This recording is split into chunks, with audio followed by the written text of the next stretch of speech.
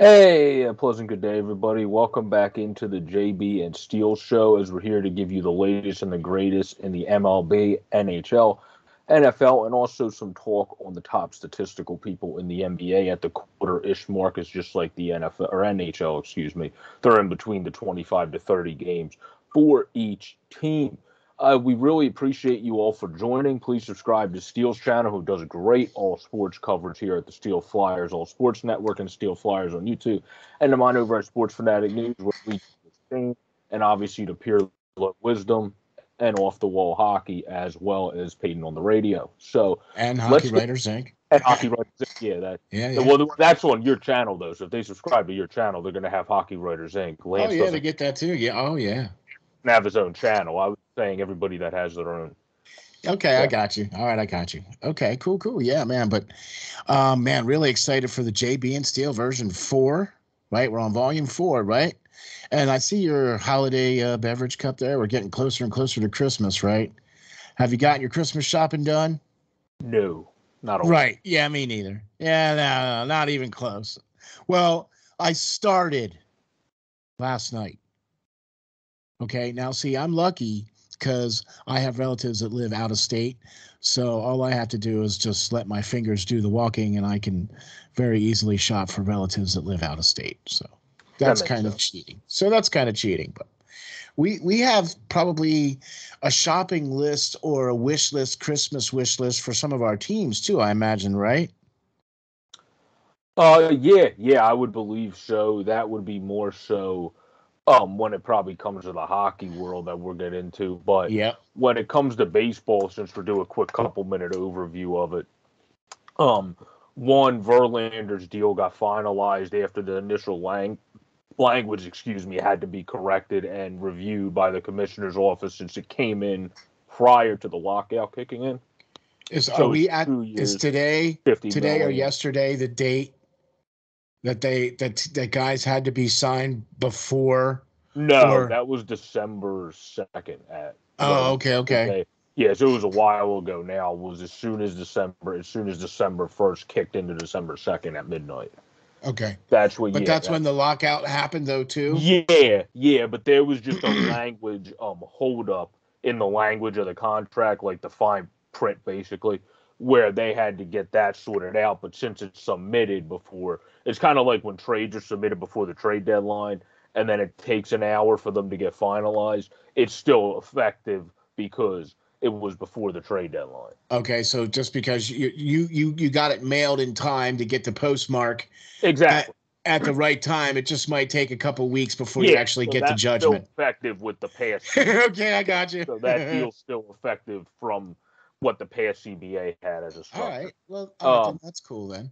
So, but what as it comes to CBA, that's a good transition. Um, because the MLB, I feel like the lockout is more the owners obviously still want more of the cream of the crop because the MLB is the one that you see some of the highest salaries. But Jim Salisbury pointed it out. You see some of the highest salaries mixed in in baseball because you have the luxury tax, so teams can just go over that, and it's whoever's the richest is basically has the chance to get the um those guys. So like I feel like he mentioned though a key point. The salaries for other guys though is in overall baseball is actually dropping for the average Joe. Where for the obviously the Tatises of the world, the Wander Francos that get paid young in their career that are phenoms, that yeah, they're gonna Mike Trout, Harper, those guys are gonna get paid but the average baseball like those salaries are actually dropping where that's why the players are probably saying well wait a minute just because the great guys are getting paid all this ridiculous money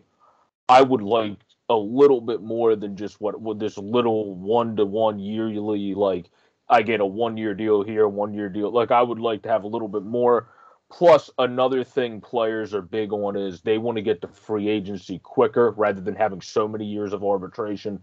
I can't remember the exact number it is, but it's a lot in baseball where they want to be able to get to the free agency quicker. They also want to be able to have the active years, like which is basically how they get to the free agency quicker. When they get called up, get activated quicker. Um, so we'll have to see how that goes. That's just some of the things involved but I think we all knew the lockout was looming when they could barely yeah. back the COVID season and get together with that. I mean, really.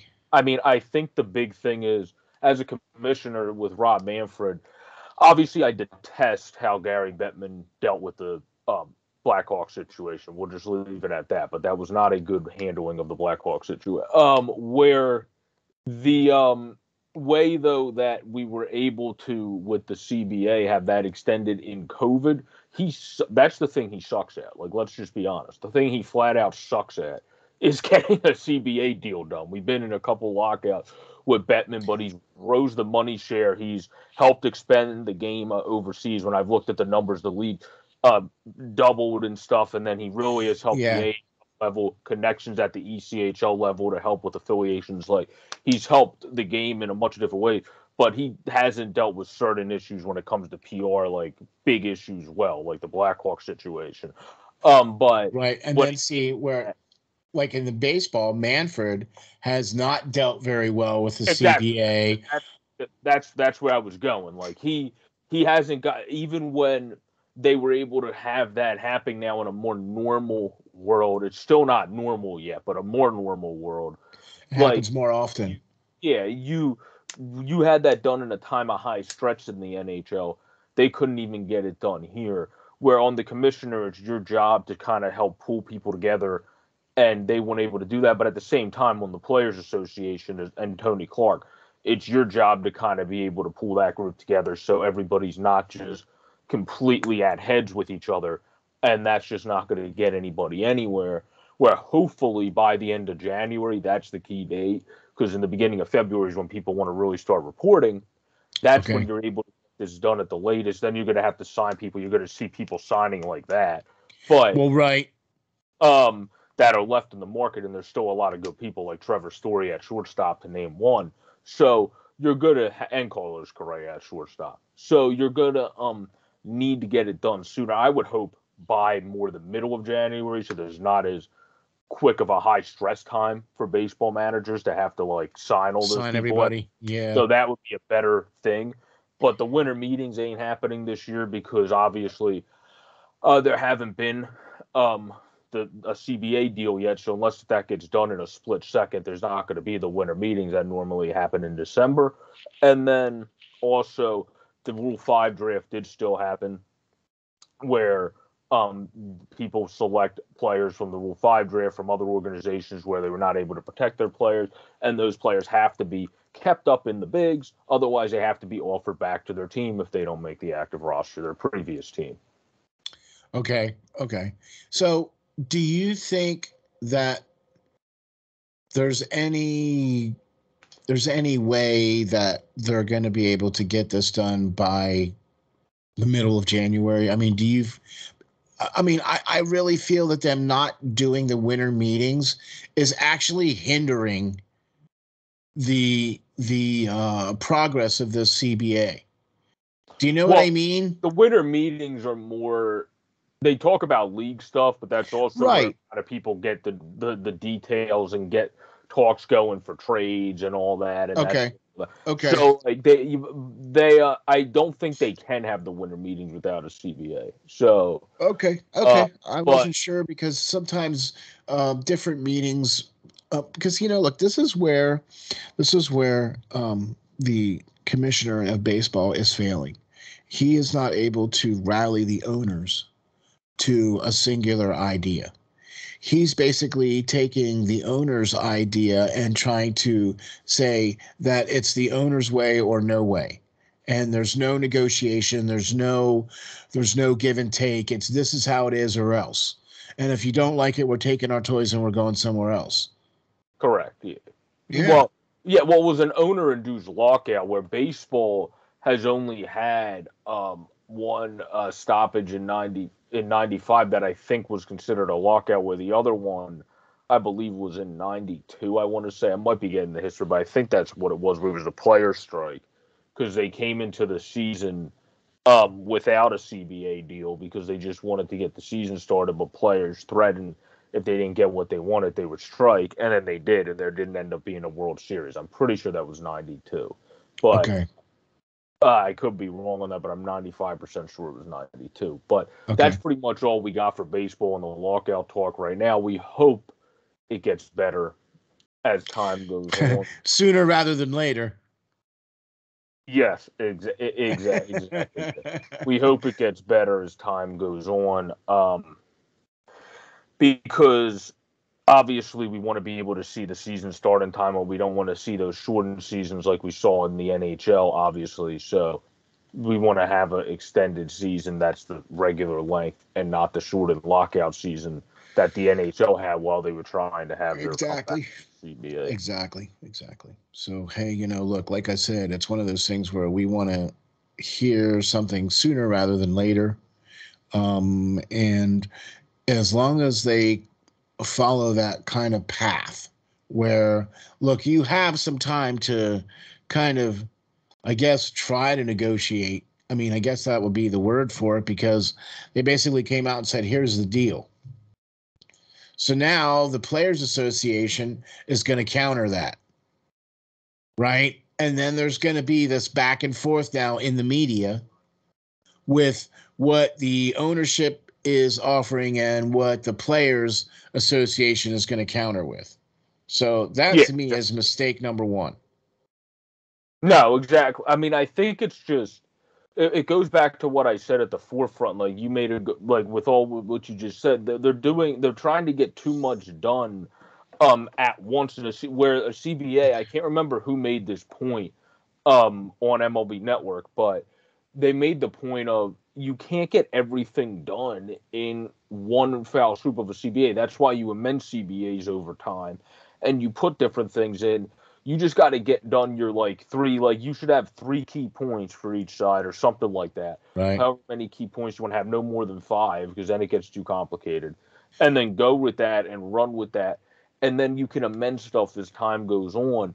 And then it makes it a lot easier. But the problem here is we've heard about the nhl at times as my closing point for this being the most divided between the player association and league that's now flipped to baseball that clearly is the most divided between the players association and the league and that's mm-hmm. not just on rob manfred to get together that's on tony clark to get together Yeah. who runs the players association Exactly.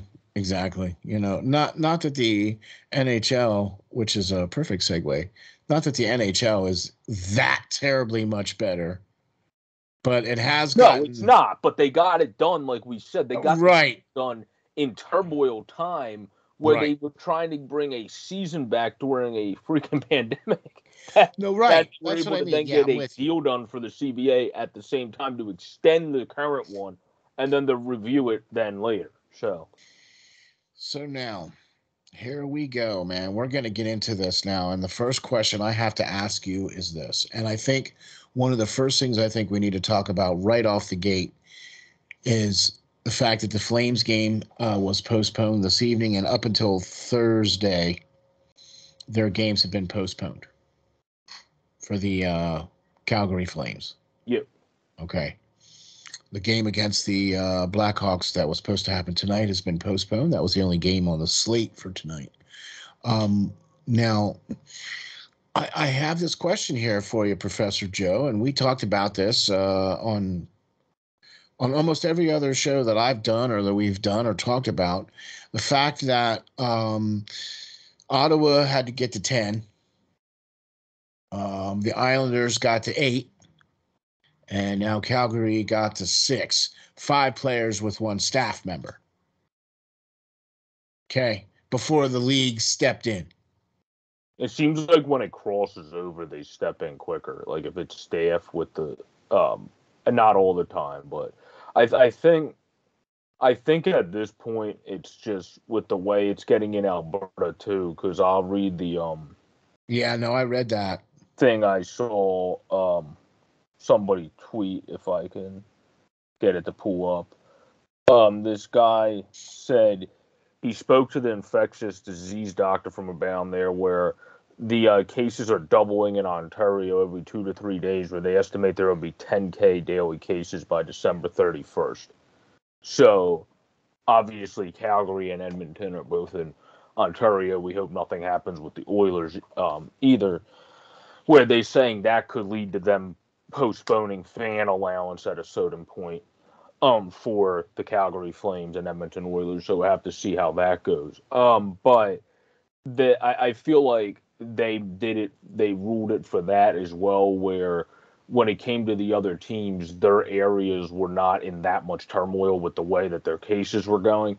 Um, at the same time of their team having those cases, they they had they had cases obviously around, but it wasn't like doubling, and then they were estimating a ridiculous 10k number by the end of December for these other areas like where Ottawa was, um, and in um, St. Louis when they paused for a little. But but like you have you have um a weird way here because there's no legal structure basically in the league documents that they made when they came back from COVID of what the structure is, like you guys talked about on the Off the Wall Hockey Show a couple weeks ago, for when you should postpone and when you should wait. Like, how many does it have to be? But I feel like this was the right decision due to the fact of how bad Alberta's doing right now as a whole. So you want to be safe and ge- you want to be safe in general when it comes to that. Where I'm usually one of those people where normally I would prefer that they do err on the side of caution. That's why I didn't mind that I didn't go to Reading on Saturday and they ended up canceling that due to Adirondack and Reading having uh, Yeah. issues with uh, Okay. the COVID protocols. And then Kirill Ustimenko was isolated as the backup goaltender because of the way the COVID protocols work. Yeah. Yeah. And there was there's actually been a lot of uh a lot of the AHL has been shutting down because of COVID protocol. They've had a lot of uh, a lot of issues with the AHL, which uh, uh, we might be able to have time that we get into that later. But um, I, I am I'm very disappointed in the NHL. I am one of those people that I do not have a problem to err on the side of caution. I have no problems with that. Okay. But what I have a problem with is that you have now presented three different, completely different scenarios where you've done the same action that you've done in all three different scenarios. Your action was the same, which was postpone games for said team. Okay. So no matter why they're doing it, it's how they look with what they're doing. Okay. And to me, this is not a good look. You had one team had to go to 10, then another team who is a better team than Ottawa and the Islanders got to eight, and then they stepped in and did- did two games, right? And now Calgary, who's playing out of their bloody gourds, right? And now they got five guys, five players, and a staff member to six, and now the NHL steps in. Well, I think, I think, I think it's just goes back to what we talked about and you guys talked about on the show on Off the Wall, which is you should have had a legal, you should have had written structure in the league coming into the season. That's the one thing Exactly.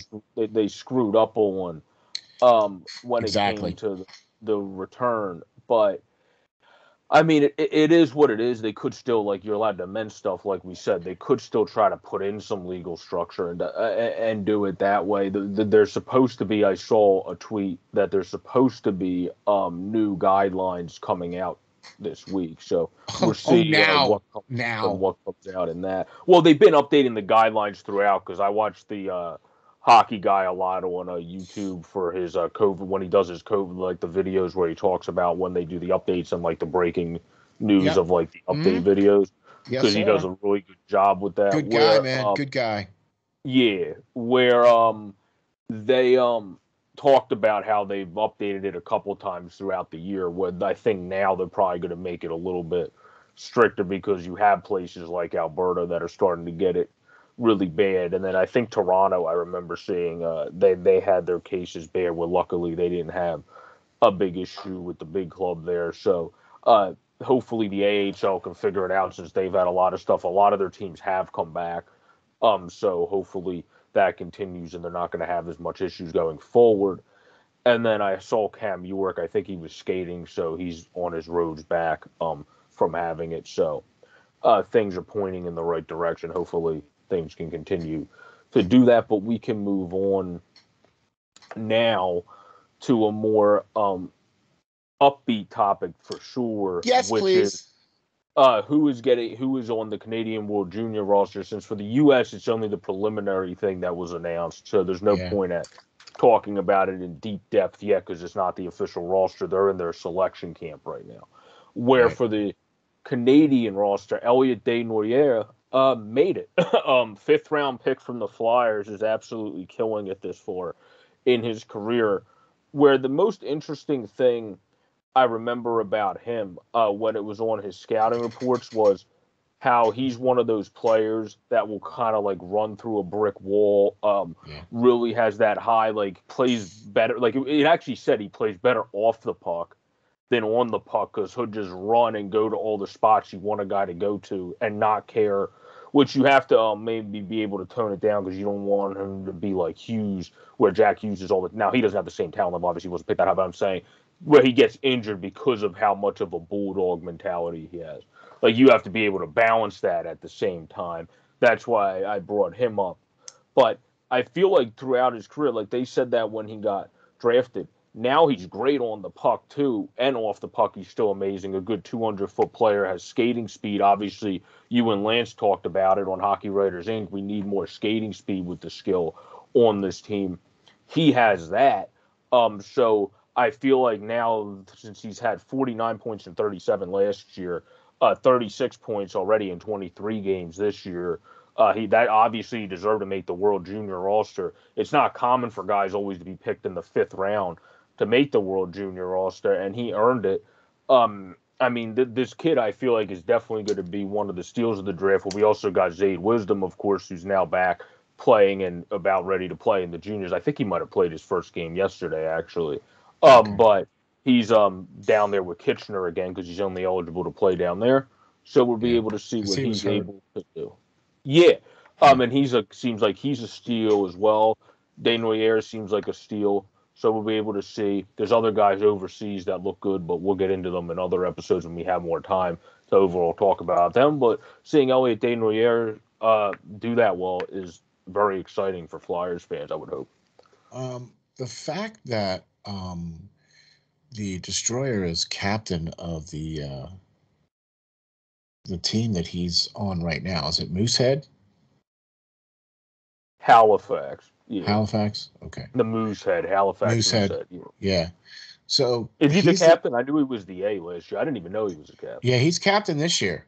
He was Oh, okay. he was elected captain this year, so that's the other thing too. So um, uh, yeah, really coming into his own, and I think he's going to be wearing the orange and black sooner rather than later, as far as I'm concerned. You yeah, he I might be. He's um right now he's only 19. Uh he he I feel like probably will get a little bit of AHL time when he comes up from the juniors, but I don't know if it'll be a 20-year-old call up, but maybe 20 21. Which would Well, then make Okay, yeah, I. I yeah, no, I got you, but let's face it, uh, Philadelphia is in a much different um, uh, journey now.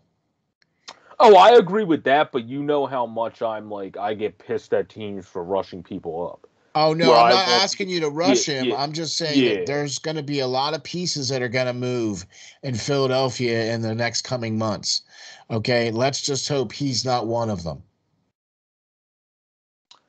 Oh, oh yeah. Well, well, I I don't think when you're a team that's retooling in the sense that I think the Flyers are retool to try to bring in more young talent, at least in my own opinion, because you're going to try to get, guys that have a chance for a better Exactly. longer.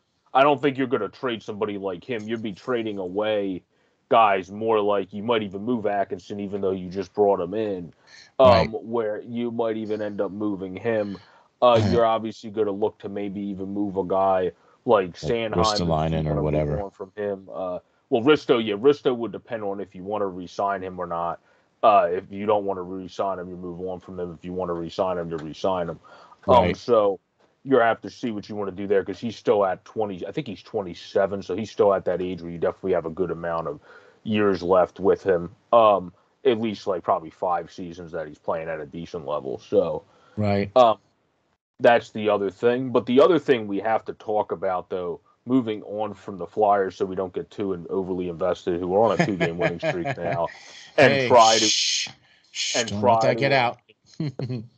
try to get going against the Devils, who they lost to the last two tomorrow. Right. Um, right. But the, also Bedard um, making the Canadian World Junior I roster. know. At, That's another good old. one. yeah, Connor Bedard makes it at 16 years old. Uh, obviously, is going to be one of the best players, and I believe uh, he's eligible in 2023. Yes. Yeah, um, because That makes him 17. Yeah, where in Oh no, yeah, wait, no, where- I'm sorry, 18. Mhm. Well, you can so- be you can be 17 if your birthday falls on or you know what I mean, it's whatever that cutoff date is. He- He's he'll, yeah. So No, exactly. I I agree because Shane Wright is obviously the guy that's talked about the most this year, but Bedard's kind of one of those guys that's been talked about as a phenom. Similarly, through the rising ranks is another person that's from Canada that obviously still has his place in the offseason in Halifax. Yeah. That is a captain of a certain team in Pennsylvania that is not Mm. ours. The we're not Um, gonna men- mention any names or anything. Bless Um, you. Sorry. So so, um, he, he, he oh, has that wasn't too subtle there, Pro Joe. I, I, I, I, yeah, I, I, no, I don't. I don't like to put a lot of pressure on people, but he has been in that same phenom level at a young age. Yeah. Talked about, written about in the Hockey Writers and all these other magazines you can read. Um, so it, it has that level of like, oh my gosh, to it. Where Shane Wright Yeah. has that a little bit, but he fell off a little bit when they have another guys. Well, but this draft to me, even in 2022, where we'll get into it more in further shows when we have the time. But I like a lot of people in the draft and think it's actually like people like people that really dive into the draft that are like the draft like analysts. They talk mm-hmm. about how it is a deeper draft. It's just you don't have in the draft next year. You just have the Connor Bedards of the world who are like I just said, Crosby, like well, like how it was as a team. Like everyone's talking about this dude at a different, so- completely different Yeah. level. Where in this year's draft, you have guys that came on later, like Savoie, who really is getting better in his draft year. Um, Nemec's a great defenseman. Uh, Urov's a good two-way player. Um, and then you have Slafkovsky, who's a very good bigger center. So obviously, that's somebody that I wouldn't mind getting for the Flyers. A bigger center that can skate kind of reminds me of Vitaly Oh, but at center Oh, gosh, Uh, no. So- Oh. that that wouldn't be a guy I Oh. would mind having. Um, so there's a lot of guys that I like in the draft, even if the Flyers end up do going on a run. Uh, there's even people later later in the draft, um, like Nathan Gaucher, um, yeah. or different people like that. Well, um, so you have um a bunch of different people at that point. So I feel like this draft is not as good as the 2023 because the 2023 is supposed to be talked about as one of the best in a long time. But that's why people are saying it's not deep. They're saying it's not deep because it's compared to that next year's draft that's supposed to be one of the best, like Right. in most people's eyes. Right. You're, you anything's not going to be that deep. Right. See, that's what I was just going to say. And this this past year's draft wasn't that deep either. You know, the, Well, the that's in now's eyes, though. That's why, like, I started doing the draft for pick reviews on my channel yep. for from the 2018 draft because I feel like you have to wait three years. Where people were saying that now, three years into the future, we might be going, "Oh my gosh, look at the fifth round picks that have turned out. Look at the fourth round picks. Look at the sixth." Uh, See, yeah, like, exactly, that have started to really come in and look like they're either at, right in the cusp of getting caught up or just murdering the AHL, where they're Right. eventually going to be caught up and that team has a deep roster, or they're Exactly. lightning that weight to you're 23 half of the time, unless if you're the goat to get caught up. So like, there which there's no problem with that because you it's there's no problem waiting till a guy's fully Right. like the closest closest to being ready for his call because you're never 100. percent But that's just a different strategy than some teams use. But no, uh, Desnoyers and um, Bedard, obviously, we wish them all the best on the Canadian World Junior roster. The uh, rest of it is Mavrik Bourque, who's with Dallas, Willie Coley, um, Ridly Greig, uh, Dylan Guenther, Kent Johnson, McTavish, Neighbours, Perfetti, Sorda. McTavish, Perfetti, yeah. He's the yeah. They, they have a loaded team. Lucas Yeah. Corp, Shane Wright, Oh Low- man. Moving, uh, Justin Sourdif, uh, Ryan. O'Rourke, Carson Lambos, Kaiden Guhle, Owen Power, Donovan Sebrango, Oh my gosh. Owen Zealander, and then goaltender, the the most experienced is uh Colsa and um Bar- Ger- Garand, who I didn't even see. earlier. Good gravy. So as long as this uh Wow. accurate from the guy from Sporting News, Jake Alfarad, I guess is how you say that, then that's most of their uh, their roster right there. So um, this Wow. is set to start from the 26th, go through January 5th, the World Juniors. For Yeah. people who are interested. So that's just a review of the Canadian team as now uh, we Love watching that series, man. I also like watching the uh, international, the IIHF as well too. I love watching those international series as well too uh, with the hockey teams. So uh, uh, especially uh, going to be tuning into the juniors. Well, Um, that's what this is the IIHF World Juniors. Yeah, yeah. Um. So, uh, really, I really, um, that is, that to me is invaluable when it comes to getting a good look at these young players. Um, and especially, uh, like if you look at the young players that were successful during the junior championships, they usually tend to be successful at the next level, you know, at the NHL level. You know what I mean? So I'm, I'm, I'm just saying that it translates really well. If you tend to have a good uh, World Juniors, you can tend to either get time, yeah. get a higher draft pick. Your your draft draft stock goes up a little bit. You you know what I mean? Guys that usually stand out during those juniors uh, championships usually end up being you know future stars of the NHL anyway. I mean, you know, seriously, let's face it. That's basically how it boils down, right? that's what they're doing it for. So come on. but um, really excited to see that coming. Um, and seeing, I, I can't wait to see what the United States team is going to look like. Um, that team as well, I think, is going to be Oh yeah, pretty- no, pretty stacked. the most stacked teams they had in a while, coming off of an exciting win last year in Canada against Canada. So uh, yeah, you you can't uh, beat a rival in any better fashion there. Um, and especially when you're able to put up as as good of a roster, uh, a who's who of of American talent that is just as going to be just as good as the Canadian team. I think, in my opinion. uh, yeah, no, no, yeah, it's going to be close again. I feel like though both of those teams have a fight, uh, fantastic. Fighting chance. Uh, yep. yeah, I was going to say a fighting chance. That's what I was looking for to get to get to the finals again. Yes, But sir. another thing we want to talk about in the positive uh, runner thing is how good Charlie Lindgren did after having a great AHL career. Charlie Lindgren has come up now and he's 3 and oh, 0, 1.42, 947 save percentage. Pirlo and I were talking about it on his show. Um, he's just one of those guys you root for. And then Gilly's had a good game yesterday yeah. For them as well, who was who was fun to watch. Uh, big as heck, could barely see over him from behind the net. While at the Panthers game. But, um, But you have uh, Charlie Lindgren, who's much smaller, easier to see over at 6'1", 182. I mean, Has been very good with the uh, Rocket in his career in the minors, and now this year was great with the Thunderbird, one of the AHL's best uh, with a 925 save percentage. So uh, he deserved the call up. Obviously, it was because of Husso going down and Binnington being on the COVID protocol. But now they know they have a fantastic, which I think they knew already from how he was doing in the AHL. yeah, yeah, yeah. But now they know they for sure they have a guy that's really found it and is able to do it at the NHL level too, which was the only question you had because he wasn't able to do that really in Montreal, minus the okay stretch he had in a couple games in the 17-18 season.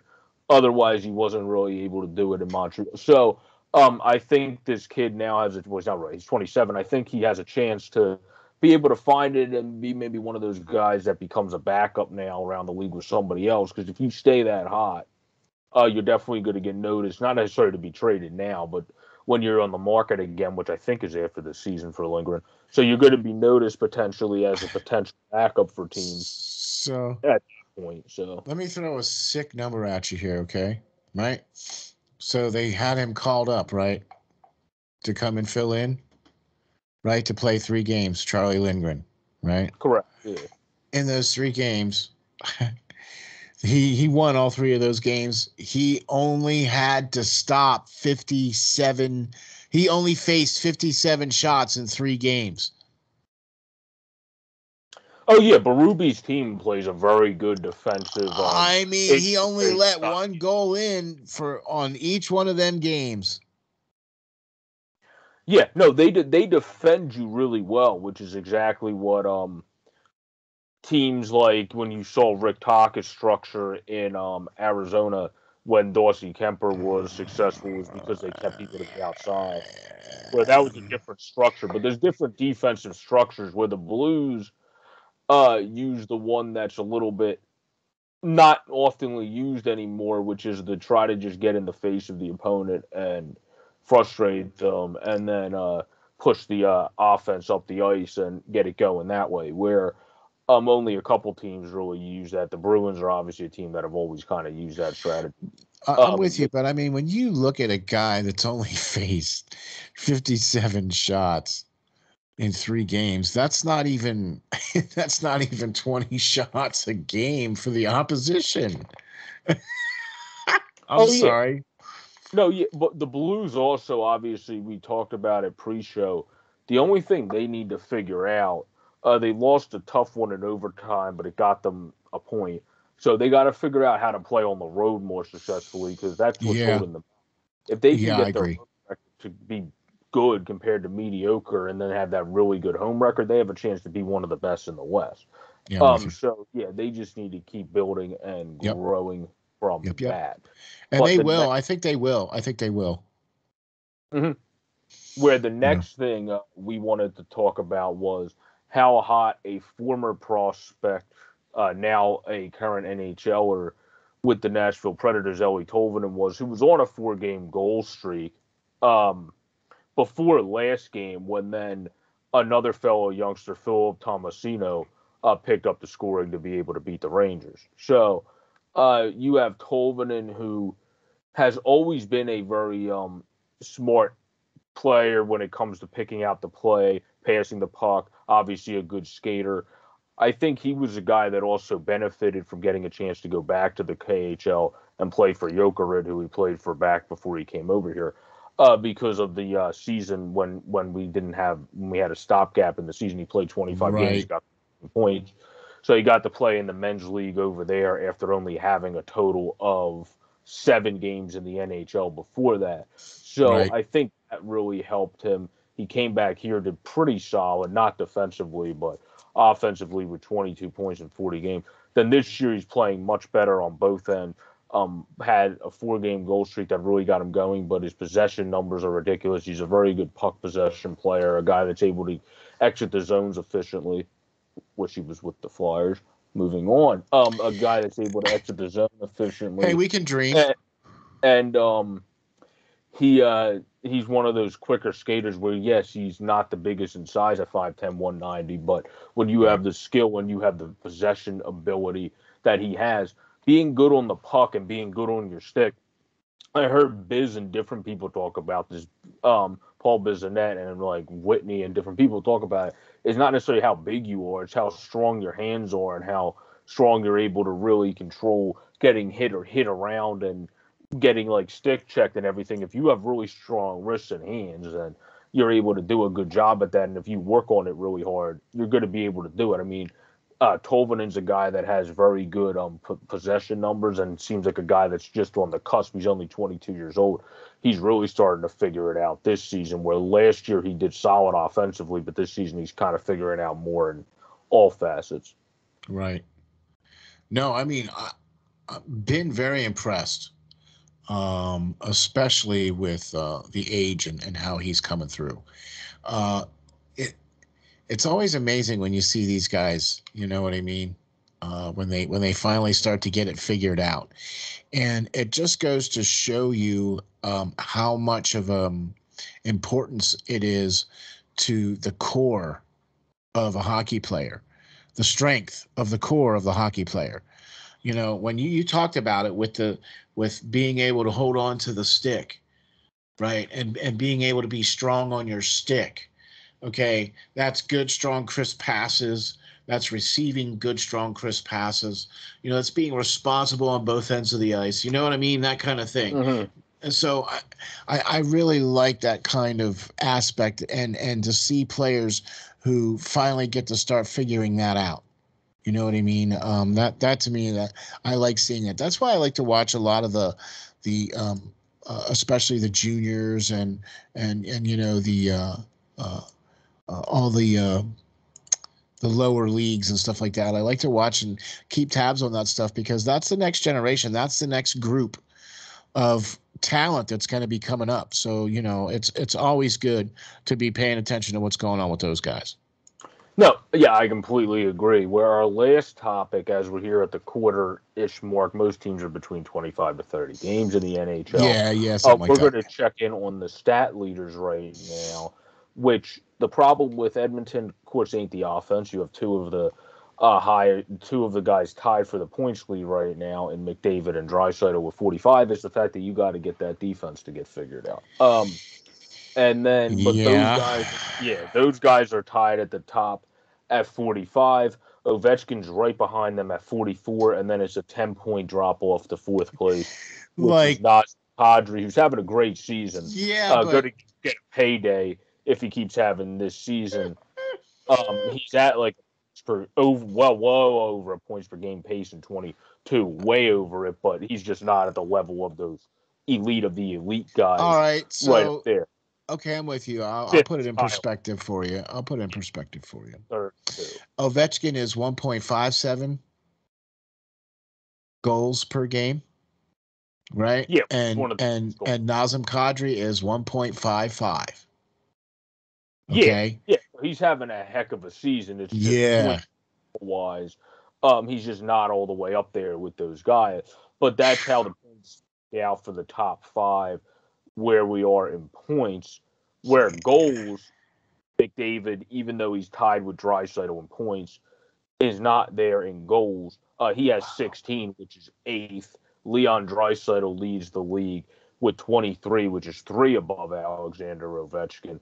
Um, and Leon Draisaitl obviously is a guy that still sometimes people don't appreciate just how filthy he is because he's on a team with a guy that obviously is the best in the land right now when it comes to hockey, which is Connor McDavid. So uh, that that makes it a little bit hard to be the most recognized guy. But then you have Kyle Connor. He was fifth in points, third in goals at 18. Auston Matthews tied with him at 18. And then you have Terry and Kreider and Mangiapane tied um, at 17. So that's how it shakes out um, in this one where Kreider's playing to be the captain of the um, Rangers, it seems like, and then Troy Terry's playing like a guy that's looking like a potential future very good all-star level player at the very least uh, for the Anaheim Ducks that they got in the fifth round. So that's looking like a steal. And then you of course have Zegras out there, uh, Comtois when healthy, Steele. You got all these other young guys out Yeah. there. That's going to be a fun team. McTavish when he's actually back and playing for the Ducks. Um, so you have a great team there, and we know after the junior season he'll probably get more time with the Ducks. So uh, once the junior season wraps up next year, so I feel like um that that team is set to just keep moving in the right direction where they're ahead of where they thought they would be, being a surprise team this season. So they're definitely moving steps in the right direction when it comes to their club. I'm with you on that. Um, the Troy Terry uh, with Anaheim was quite um, a nice little run there. He had 18 game uh, point streak there that he was on, so that was amazing. And as he went, so did the Ducks. And they have just their game has definitely elevated this year. Yep, Okay. him Their and goal- Zegras make a huge difference. Oh my gosh! And then you throw you, you sprinkle in some some Gibson goaltending in there, and hey, hey, that's a And pretty a snappy little Flyers- a former Flyers prospect that only got held back from his injuries is now a very good backup to Gibson is Stolarz. Stolarz, yeah, I was just gonna say, like, all right, uh, no, but this year's been a little bit different because you're starting to see some of the other guys start to take over now. You know, I mean, yeah, you're going to have the McDavids, you're going to have the Ovechkins, but you're you're starting to see the other guys, the Matthews, the Connors, the Kreiders, the Mangiapanis, the Terrys, the you know what I mean, the that kind of stuff. So it, no matter what, Mikael Granlund because he's sixth in assists and he's yeah. like above, well above he's like above or yeah he's a couple above a points per game pace. So exactly yeah, going ridiculous and ballistic out there in Nashville. So and I'm I have to say of all of those guys, I'm probably the most impressed with Kadri. Yeah, yeah, because he's a guy that also, on top of like the stats show some things. Like my one good friend always says, the stats are just one point of evidence. Uh, yes. where you can't just go by the analytics and you can't just go by the stats. It's something to use that is good things to use, but then you have to see what you see where he's playing much more discipline, which is therefore leading to him playing as good of a game as he's playing this exactly. year. Exactly. Where um, when you see also in Colorado, it seems like Bednar has Knack getting out of the mindset that we put him in here that Lance was talking about. And people that want to know, check out the Hockey Writers Inc. show about what he talked about. But yeah, a little bit more discipline minus the stupid penalty he took against us. Uh, but, yeah uh, he's playing a little bit more discipline out there and playing better, getting some goals. So I, I feel like when it comes to him, he's in a contract year two. That's always an extra motivator. So we'll exactly. have to see what he's able to yeah. continue to do. But he really picked it up and was a saving grace for them when uh, Nathan MacKinnon was injured. Yeah, no, I mean that that really was. I think that was the difference, and I think that's one of the things that kind of put him over the edge where okay we got a player in this guy. You know what i mean? This guy is the real deal here. And he made he made a decision hard for the coaches to send him back. You know what i mean? So that that's i love those stories. I love players like that. I love hearing about players like that. Oh yeah because he's a guy when he played bad bednar would move him down the lineup. Yeah like send him down third like give him exactly. lesser minutes because he wanted him to do what he was doing he probably knew he had more skill and in his tape and was able to get it going. And then he didn't know, I think, to this oomph degree because he hasn't shown that in the rest of his career. But he knew he had more there, and you're really yep. seeing it this year. Exactly, exactly. And you know what? Um, you got any other last little quick things here to say the, to wrap the, up the about quick, NHL? Quick thing about hockey we have to get into too. Two big reasons the Rangers are over there are Artemi Panarin and Adam Fox, second in assists oh, yeah. Fox uh, fourth for Panarin, who's tied with the aforementioned Nazem Kadri, and then also tied for the next spot is Kaprizov, Huberdeau, Hedman, and Granlund, as well as Leon Draisaitl. Uh, so yeah. obviously Panarin, Fox, huge parts of that Rangers team, as well as Lafreniere and Kakko. Um, who's yeah. going to continue to get better if those guys can stay healthy. Man, and then you have nice... Lindgren, who's a very good defensive defenseman yep. on that team. And then watch out for Jacob Trouba if you're on the ice. Um, so especially uh, if you're not looking up. Yeah, so be be aware of Jake. Um, so and not Jake from State Farm. So yeah, this one here is a Truba. He's wearing a a. a uh, a license plate that says New York Rangers. He's he's he's the truck that's dressed like a New York Ranger. Yeah, man, that was just, you know, I'm that was one that the NHL got right. That was to me, as far as I'm concerned, was not an illegal hit. He didn't leave his skates. He didn't like lead with his elbow or his shoulder or anything like that. You know what I mean? It's just like dude turned around and he was right there. Yeah.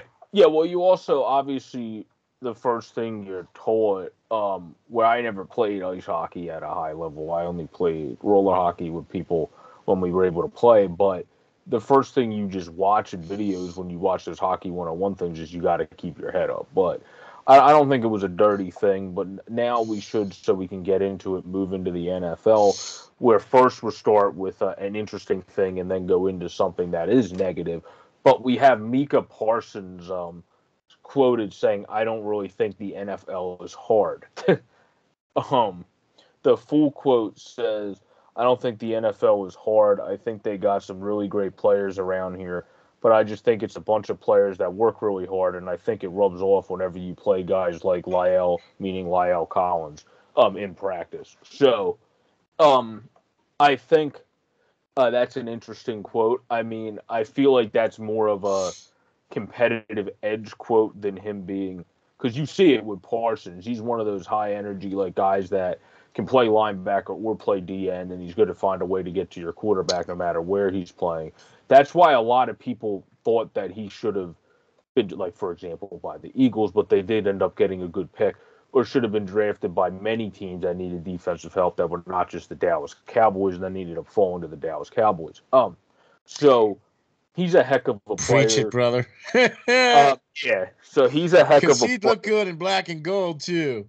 Yeah, he's a heck of a player. I usually don't mind guys kind of coming out of their shell to say stuff like this, so I'm just going to roll with what I normally say. And it is what it is. If you want to be that outgoing about how you feel, then be outgoing. People are going to be coming for you more now, but he has the talent to take on whoever is coming for him on the offensive line of the opposing team. So, all right. So now, um, I've I've got to watch uh, Micah Parsons um, play high school ball.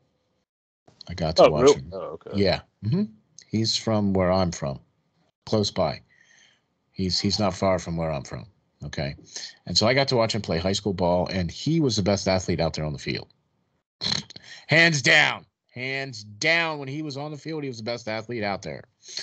And when he got to Penn State, and then I got to watch him play at Penn State, and for the most part, he was the best defensive player at Penn State when he was there. Now, I think the thing that hurt him was that he sat out for the COVID year. Okay. And uh, that's still, he still got drafted by the Cowboys. He's still going to bank. He's still a freaking phenomenal player as long as he stays healthy. He's he's going to be a, a great player. That's just it. He's one of those types of guys, like you said, Joe, where he's tenacious and he's not going to let something stop him or get in his way. And I like it when guys come out and honestly tell you what they think and feel about what's going on in the league that they're playing in. Yeah, no, I don't mind it at all. I think it's more he just is, knows how confident he is in his game, and that's really what that shows there. But uh, moving now from a positive, uh, fun thing from Parsons into something that's negative, the NFL unfortunately had 37 COVID positive tests across the league, setting their single day high. Um, that came in on Monday as we're recording this on Monday, December 13th, where prominent people for tonight's game were Jalen Ramsey and Tyler Higbee, who will not be available to play Yep. against the Cardinals. Um, Yep. For the Rams, other people were Miami Dolphins Philip Lindsay um, and safety Jevon Holland, um, Chargers tackle Rashawn Slater, Cowboys receiver Wilson, Cedric Wilson, Kansas City Chiefs receiver who I forgot's on the Chiefs, Josh Gordon, uh, New York Giants receiver Kadarius Toney, and then there's a, uh additionally a tier three staff member of the Washington football team. So Yeah. that that's uh, how it is there. That's unfortunate. Hopefully, they're able to get that figured out. But that's just some quick breaking news um, to get out so people know that haven't seen it on their apps or what have Right. you. Right. Well, listen, man. Let's since since we have uh since we we covered the bad and the and the good, let's let's cover the game. Right? The bad, the good, and the game. So there's a game tonight, and it's actually going to be a pretty darn good game, I think. I mean, what do you think? Right? The Rams Uh, and the Cardinals? The Ra- I feel like with Jalen Ramsey being the big impact player he is, it's in Arizona. Him being out, Yeah. Uh, being a very good uh, tight end that also blocks significantly solid. So I think, and obviously catches it well from Stafford. I don't think the Rams have been as impressive the last couple weeks. They're only two and three in their last five. So I feel like I'm going to definitely be leaning Cardinals in this game. Uh, and especially even without um, Kyler Murray, they were still able to take care of business with McCoy in as their backup. So I mean, uh, man, Arizona looking like the real deal this year. What what are they? Ten and two? Ten and two, yeah. Yeah, I mean, well, the Rams are eight and four. right. So I think this is actually going to be. I do agree, though. The Rams haven't looked that good over the last couple of weeks, uh, but still ten and three over the last five. Um, and and uh, and uh, Arizona has been playing very very well. Um, so I, I do agree, though. I I, I am going to be leaning more Arizona yeah, on this. Arizona's only piss poor game um, was against Carolina, which was a game in which Colt McCoy started and didn't. Right. So if Kyler Murray was in that game, I don't think they would have got spanked by Carolina. Exactly. And then the second game that he started, right? He was had almost the most perfect quarterback rating. Like he only missed like one or two passes out of like 30 some passes yeah, or something crazy. Yeah, he, he yeah. He 35 for 44. He did really good against the Seattle. so um but yeah, he he bounced back. But yeah, that one loss was with their backup quarterback, so I don't really uh, yeah, you know, one in there all too much. And then their other loss was against the Packers, which was with, Kyler, but the Packers are a great team as well, who they just have to hope Rodgers' toe doesn't harm them from being able to go as deep into the season as they can. That's the yeah, yeah, yeah. No, I'm with you on that one for sure. That was a good game. Yeah, bounce back and be better than their mediocrity of late need to exactly. hope Josh Allen is not injured for something that affects him, where we've seen in a walking boot after the loss. And for the Ravens' success is our last point for the NFL. Lamar Jackson had an ankle sprain. We saw Jalen Hurts have to miss time for that a week, and then had the bye week though. So would he have to have missed two weeks without the bye week? Nobody would ever know. Uh, we'll have to see how that's going to affect Lamar. I did see, I did see though, um, an article saying that Harbaugh does expect Jackson to be starter for this coming week. So did uh, Nick Sirianni, so that could just be the coaching tactic. Uh, I will have to see because sometimes coaches like having the tactic of I don't want the opponent to know in the until the last minute. So you have to game plan for two people, and then it kind of throws your system out of whack. Yeah. So yeah. that you say it where that's what Sirianni did. It was basically until the day of game day almost. It might have been the night before, but we didn't know Jalen right. not start. And you had like Minshew taking snaps. There was inklings of it, but there was no announcement until right before practically. Right. So just to be clear, though, we both are going with Arizona on this Monday night game. Arizona, yeah, yeah, yeah. especially with the two big losses for the Rams uh, coming in. Exactly. So I think maybe it's going to be more of a, a higher scoring game for Arizona than it is going to be for um, the Rams. I think for this game. So, yeah. Yeah. So all right, cool to wrap up our show, we're actually going to, for the first time in the fourth installment, since we're at the quarter mark, 25 to 30 games in this league as well in the NBA.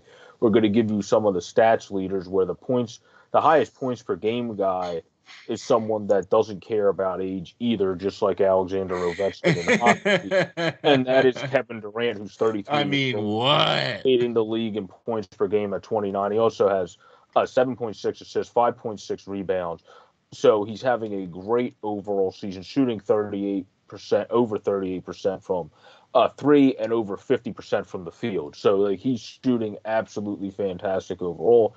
And then obviously for the Golden State Warriors, uh, the Steph Curry everybody knows and love is back in full effect. 6.3 assists, 5.6 rebound, and 27 points at 40.404% from three and 43% from the field. So he's having a good overall season as well. And then Giannis Antetokounmpo is shooting over 50% from the field as well. Not the best three-point shooter, but he actually takes the shots, so you give him credit for that. So it makes yeah. people, uh, since he takes the shots, the pump fake makes people accountable. And a dude that's six eleven and that freak of an athlete, uh, once he drives to the um, once he drives to the rack, good luck stopping him. Once he's driving to to the basket, there's not there's not a good chance of of doing that. Right. Where the other guy is the MVP, Jokic. That's no surprise that he's in fourth, and then Trae Young, who's an absolute shooter, a killer of a shot. Uh, no surprise that he's tied for fourth with Jokic when it comes to points. Well, yeah. So I mean, um, boy, you got some uh, who's who here in the top, and with being at the quarter mark, is there any team? Look, I know that they've been um, some teams have had some guys in and out, either on COVID or injuries or whatever the case is. And I know that last year there was a lot of players that missed a lot of time, especially uh, for the California teams. Um, you know what I mean? So is everybody back and healthy? I mean, I know we're at the quarter mark now for No, the there's NBA, still, but there's still people out with COVID for teams. It's like every other league. There's been people going in and out of the lineups for different teams, just Okay. like the NFL and NHL. It's it, it- it's the same thing. There, there's been people going in and out. Um, so did yeah, they mandate for them to have the vaccine? All players have to have vaccine and all that. No, I'm no, I'm 95 percent sure the NBA has not done that. Um, just like the NFL, I don't think it's done that. either. No, the NFL did. The NFL, well, the. NFL did. if you want to have a social life, but if you don't mind just living inside your home, then you could just say that I'm going to be having my own locker basically, and then play the game, and then not be around my teammates again afterwards, and the, which would be a weird dynamic for you, but it, it would it would I think be allowed under the guidelines.